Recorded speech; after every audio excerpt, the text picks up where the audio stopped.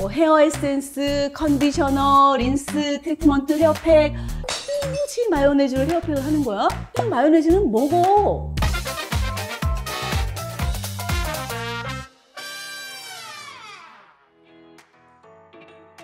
안녕 동생들 언니 오늘 좀 달라 보이지 않아? 청순해 아니면 섹시해? 둘 다? 그래 알아보는구나 오늘 언니가 청순함의 필살기 찰랑이는 머리카락 자랑 좀 해보려고 머리를 풀고 와봤어 동생들도 머릿결 관리 잘하고 있어? 예쁜 얼굴에만 신경 쓰기 바쁘다고? 안돼 머릿결도 케어해줘야 한다고 우리 동생들을 위해서 오늘은 언니가 찰랑이는 머릿결 관리에 필수인 헤어 케어 제품들에 대한 팩트 체크를 준비해봤어. 잘 들어봐.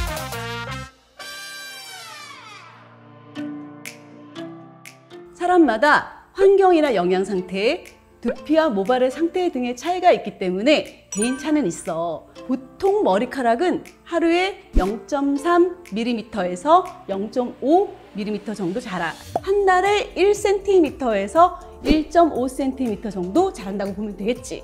이렇게 한 달에 1cm씩 힘들게 기른 머리카락인데 이 머리카락들이 상해버린 이유는 뭘까? 주된 원인은 바로 큐티클의 손상이야. 우리 머리카락은 큐티클로 하나하나 감싸져 있는데 이 큐티클은 외부 물질로부터 머리카락을 보호해주고 머리카락 내부의 영양 성분이 빠져나가지 않도록 도와주는 역할을 해. 그런데 너무 뜨거운 드라이기 열이나 파마, 염색, 스타일링 제품들로 인해서 큐티클이 손상되면 머리카락이 잘 엉키고 윤기도 없이 푸석푸석해 보이게 돼. 또 머리카락을 강하게 빗거나 젖은 상태에서 빗는 거. 그리고 머리를 감고 나서 비벼서 말린 행동들도 건강한 큐티클을 떠져 나가게 할 수 있어. 그러니까 주의해야겠지?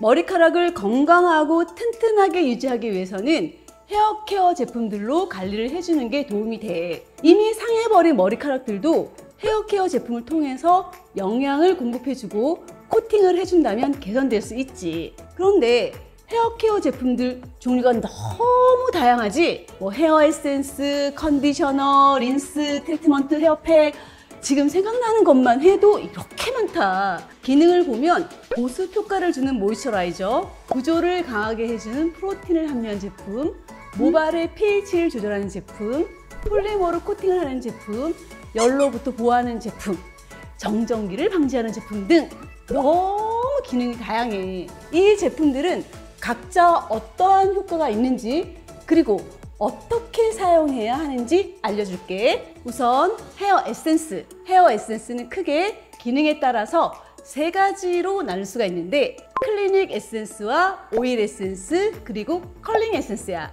클리닉 에센스는 손상된 모발에 수분과 단백질을 공급해주는 역할을 하고 드라이기 사용 전에 발라주는 게 좋아. 다음은 오일 에센스. 오일 에센스는 머리카락의 단백질과 수분이 날아가는 걸 막아주는 역할을 해. 영양이 필요하고 푸석한 얼굴에도 오일을 발라주지 머리카락에도 마찬가지라는 거야. 마지막 컬링 에센스는 헤어 펌을 한 뒤 컬을 풍성하고 탄력 있게 유지시켜주는 에센스야. 자, 그럼 헤어 에센스는 어떻게 사용해야 할까? 헤어 에센스는 머리를 감고 나서 말리기 전에 살짝 젖어 있는 상태에 모발에 전체적으로 발라준 뒤 드라이기를 사용하는 걸 권장해. 그리고 쉽게 상하는 머리카락 끝부분에는 드라이기 사용 후에도 한 번 더 가볍게 발라주면 좋아. 다음은 린스. 린스의 성분에는 실리콘이 포함되어 있는데 이 실리콘이 샴푸 후 뻣뻣해진 머리카락에 윤기와 강택을 주고 부드럽게 해주는 역할을 해. 또한 린스는 샴푸의 세정 성분을 중화해주고 머리카락에 적당한 유분을 주지. 그래서 내 모발이 건강하다 하는 동생들은 샴푸 후 린스 정도만 해주어도 충분하지. 다음은 컨디셔너. 컨디셔너는 사실 린스와 마찬가지로 샴푸 후에 거칠어진 모발에 유분과 윤기를 주는 제품이야. 둘은 큰 차이가 없기 때문에 린스와 컨디셔너를 동시에 사용할 필요까지는 없는 거지. 다음은 트리트먼트. 트리트먼트는 손상된 모발에 영양을 공급하는 역할을 해. 트리트먼트를 사용할 땐 축축한 모발보다는 샴푸 후 물기를 적당히 제거한 다음에 살짝 젖은 모발에 해주는 게 좋아. 두피를 제외한 모발 전체에 골고루 발라준 후 손상된 부위에는 한 번 더 발라주기. 그 다음 물로 씻어내주면 되겠지? 마지막으로는 헤어팩. 헤어팩은 트리트먼트와 마찬가지로 모발뿐만 아니라 모발 내부의 손상까지 케어해주는 제품이야. 헤어팩은 매번 할 필요까지는 없고 모발 손상이 아주 심하다 싶으면 주 1회 정도 사용해 주기를 권장할게. 헤어팩을 10분에서 15분간 해주고 미온수로 깨끗하게 써주면 돼.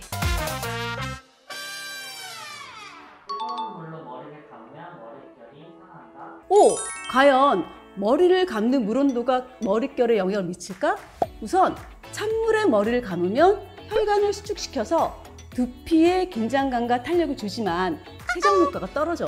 그렇다고 너무 뜨거운 온도로 샴푸를 하게 되면 두피에 남아 있어야 할 기본 유분기마저 제거하고 두피 상태를 건조하거나 민감하게 할 수가 있어. 머리카락의 큐티클도 손상될 수 있지. 미지근한 물로 머리를 감게 되면 머릿결도 상하지 않고 세정력도 좋아지고 혈액순환에도 도움을 줄 수 있어. 그래서 언니는 미지근한 물로 머리 감는 걸 추천할게. X. 머리카락은 죽은 세포로 이루어져 있어. 그래서 자발적으로 손상된 모발이 회복되기는 굉장히 어려워. 대신 최근에 아까 설명해 준 것처럼 다양한 헤어 케어 제품을 꾸준히 사용한다면 손상된 모발을 어느 정도 다시 회복시키는 데 도움을 줄 수 있어.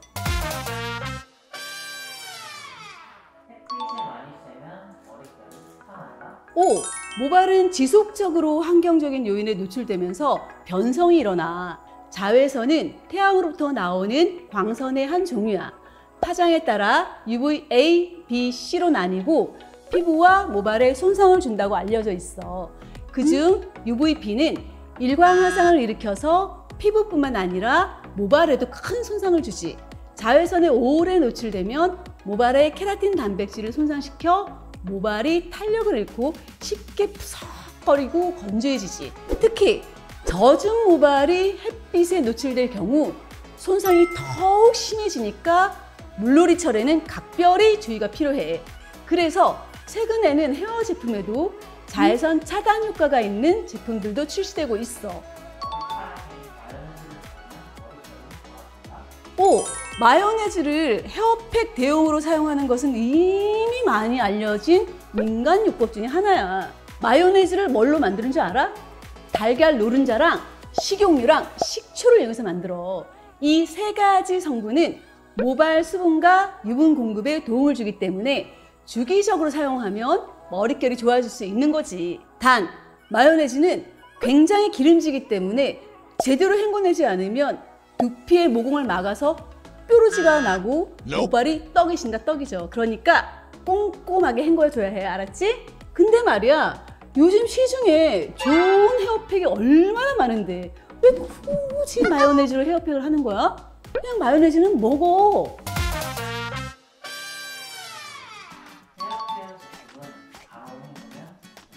오! 보통 미용실에서 트리트먼트 바르고 시간을 두잖아. 그리고 언니가 팁을 좀 줄까? 미용실에 쓰는 헤어캡 있지? 그걸 머리에 쓰고 드라이어로 열 처리를 해주면 흡수력도 더 높일 수가 있고 도움이 된다고. 바르자마자 바로 헹구지 말고 큐티클 방향대로 이렇게 빗어주면서 모발 큐티클층 사이사이 손상된 부위에 영양이 흡수되도록 해주는 게 더 좋을 거야. 우리 보통 미용실 가면 어떻게 해? 트리트먼트 바르고 언니들이 이렇게 계속 만져주지 이게 큐티클 방향대로 마사지 해주는 거야. 이렇게 해주면 훨씬 더 효과가 좋아.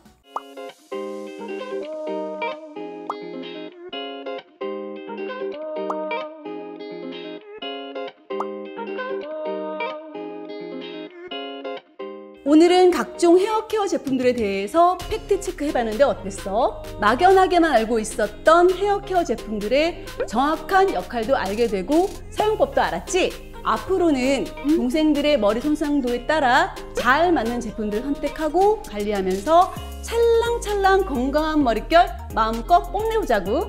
다음 주에 또 보자. 안녕!